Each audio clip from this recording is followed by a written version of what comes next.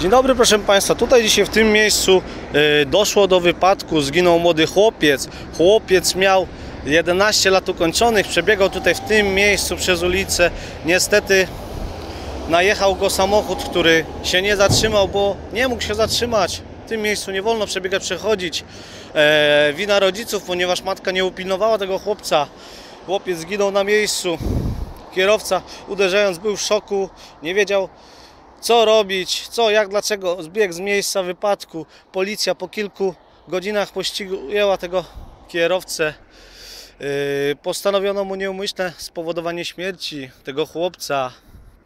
Lecz to jest taka przestroga dla rodziców, żeby po prostu bardziej pilnowali swoich dzieci, ponieważ no, niedopilnowanie dziecka, wiadomo, czym grozi. No, biegnie, nie rozgląda się, wpadnie pod samochód, no i zginie. No i doszło do takiego smutnego incydentu, wypadku, także no taka troska i przestroga dla rodziców, żeby po prostu bardziej, bardziej, ale to bardziej pilnować swoje pociechy, bo no niestety niedopilnowane, nieprzepilnowane to mogą stać się, mogą zginąć w wypadku, także do takiego, do którego doszło tutaj, który zginął, chłopiec 11-letni.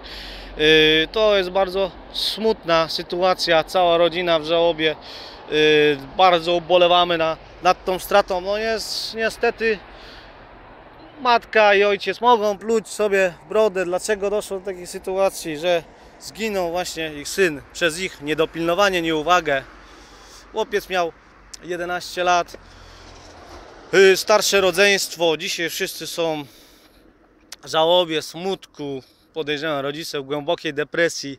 No lecz niestety to jest Anglia, tutaj y, dzieci mogą sobie pozwolić na to, na co chcą i niestety rodzice nie pilnują tych dzieci, także to jest wina wychowania, zachowania. Tych rodziców wychowali pewnie ich rodzice, którzy także ich nie pilnowali. Nie? Lecz niestety, kiedy dochodzi do takiej tragedii, to wtedy wszyscy żałują, jest ten smutek. A gdzie byli, gdy ich naprawdę potrzebowało dziecko? Gdyby powiedzieli nie złapali za rękę, nie poszłoby, ale niestety nie zrobili tego. Dziękuję za uwagę, miłego dnia życzę.